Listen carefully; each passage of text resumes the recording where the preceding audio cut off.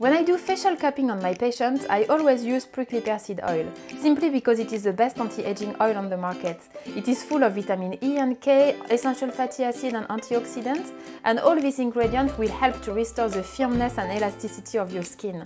It will smooth out fine lines and wrinkles and dark circles under your eyes, but it will also protect your skin against sun damages and other free radicals. It is truly a beautiful miracle oil and I love it. This oil is also EcoCert certified, which means that we only use the best natural and organic ingredients, working with Women Cooperative in Morocco, which means that when you buy this oil, you indirectly help these women to develop socially and economically. So, if you are looking for a new facial oil or if you're looking for the best oil to use with facial cupping, just try Prickly Pear Seed oil.